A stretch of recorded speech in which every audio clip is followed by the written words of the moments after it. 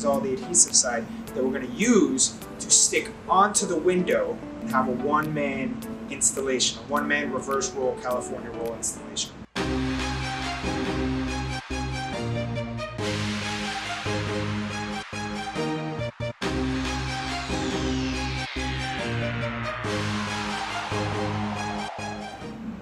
Now, same as we did before, we're going to prepare the film for install. It just a little bit until I have about a foot of film. I'm to spray that. Obviously, the liner is still on the film, so that's what we're going to work on removing now. So now, I'm going to separate the liner from the film.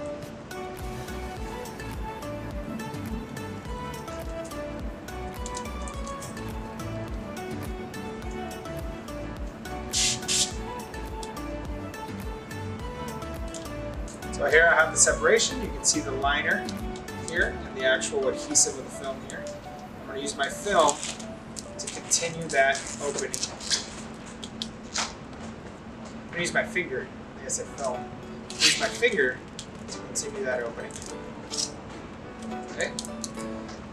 Spray some more water in there. You always want to keep it moist. That's how you avoid the film sticking to something prematurely.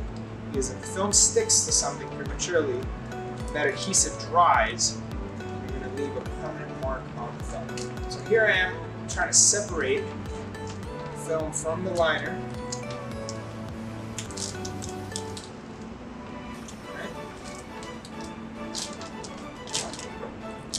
And you'll notice the adhesive is being pulled off as I unroll the film now. The liner is pulling itself off of the film, it's revealing the adhesive. So the actual liner of the film is here. It was rolled backwards.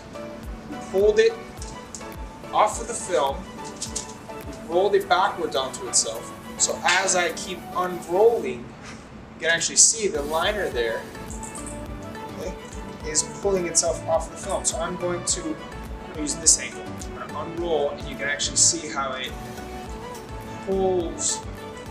This is where the reverse roll name comes from.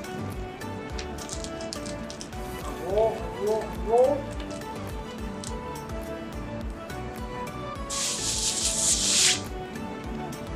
Now that we have it unrolled, this is all adhesive side it's wet so it doesn't stick. This is all the adhesive side that we're going to use to stick onto the window so that we can continue to unroll and have a one-man installation, one-man reverse roll California roll installation.